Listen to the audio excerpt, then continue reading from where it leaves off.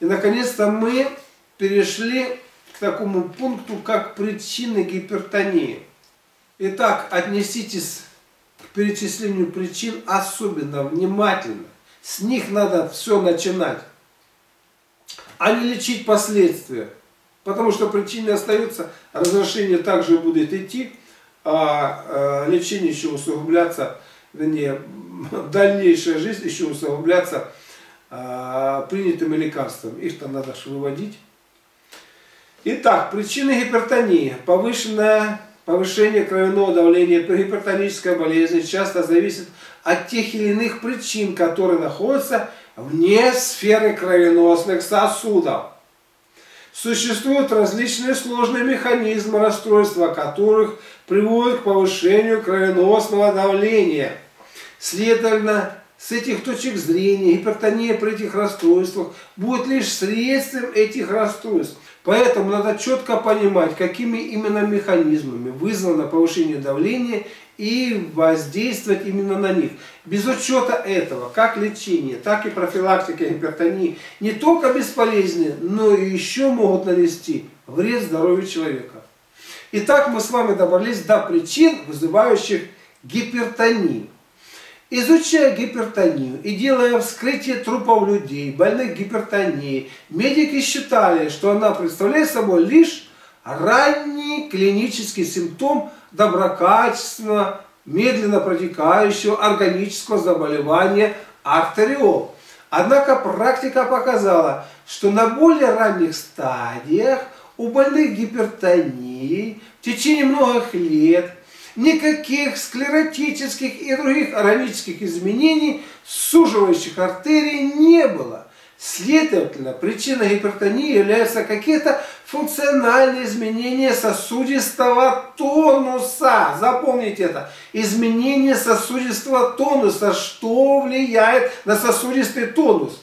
Но какие именно механизмы влияют на сосудистый тонус артериол? Как мы знаем, стенка артериолы, как и вены, состоит из трех слоев внутреннего, среднего и наружного. В среднем слое находятся тонические мышечные волокна, к которым подходят нервы, управляющие их сжатием, сужением сосуда и расслаблением, расширением сосуда. Там же находятся кровеносные сосуды, которые питают мышцы и нервы стенки сосуда. К тому же нам известно, что в основе гипертонической болезни лежит тоническое сужение артериол, которое создается вследствие измененной установки вазомоторного нервного аппарата. Вот такая сложная бывает формулировка. Теперь нам остается ответить, что вызывает изменение установки этого нервного аппарата. Так как сосудистая реакция носит общий или, по крайней мере, распространенный характер – то ее называют механизмом, расположенным в центральной нервной системе. А это значит, что согласно физиологическому учению Ивана Павлова, раздражение поступает из внешней среды через первую и вторую сигнальную систему. И этим раздражением является, я выделил жирным шрифтом, психоэмоциональное возбуждение, которое в высших отделах головного мозга создает застойные очаги возбуждения. И именно это приводит к изменению установки вазомоторного нервного аппарата, чрезмерно сильному и длительному спазму кровеносных сосудов, поднимающих артериальное давление. Вот она, собака, которую мы отрыли. Вот она, в конце концов, вот она главная причина. Помимо того, что где-то что-то вдарилось, где-то что-то заболело. Это где-то 90%, если не больше, причин гипертонии. Таким образом, гипертония есть результат невроза, понимаете?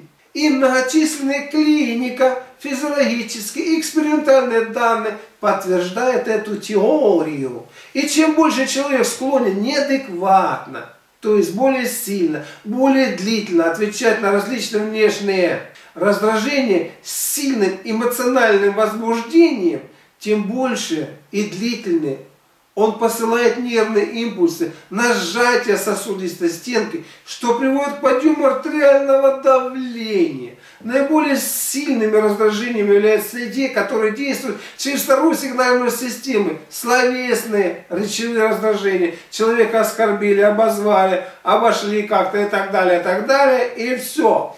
Поэтому примерно 78% больных в стране стадий гипертонии находятся в состоянии хронического эмоционального стресса. Понимаете?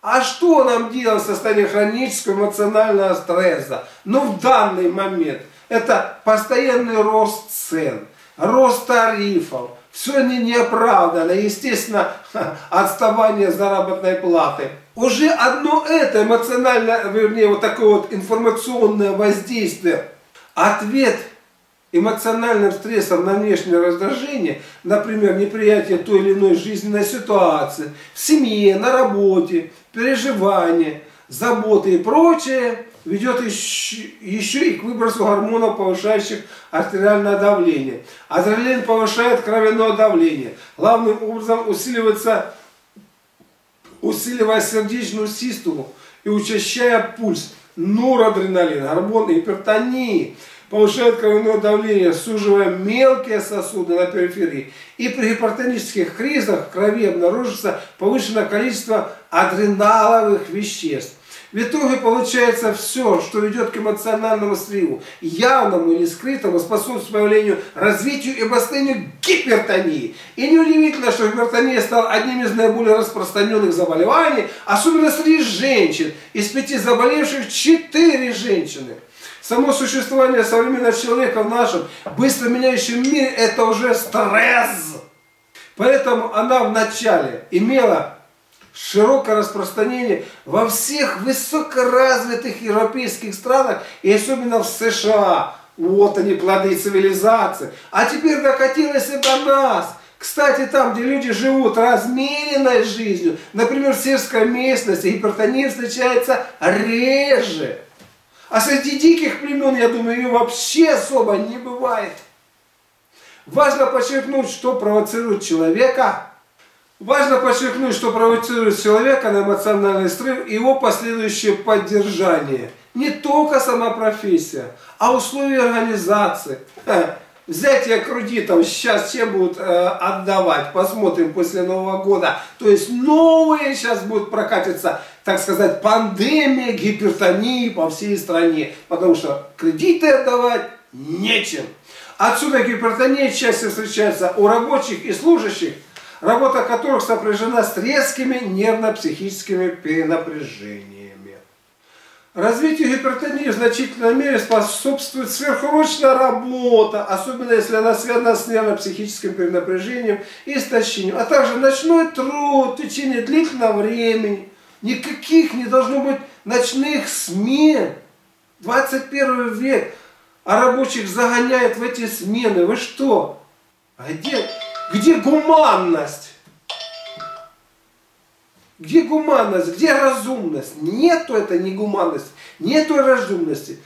У нас не общество, а какое-то, я не знаю, способствующим гипертонии фактором являются старые эмоциональные травмы, длительное эмоциональное переживание, аффекты отрицательного порядка и так далее. То есть то, что еще у нас в детстве было.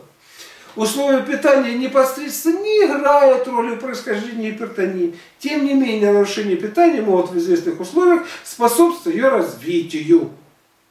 Наступление климактерического периода у женщин повышает риск заболеть гипертонией. Но это не означает, что женщина должна обязательно заболеть. Гипертония развивается лишь при ненормально протекающем климаксе при котором имеется тяжелое явление общего невроза, затяжного эмоционального срыва.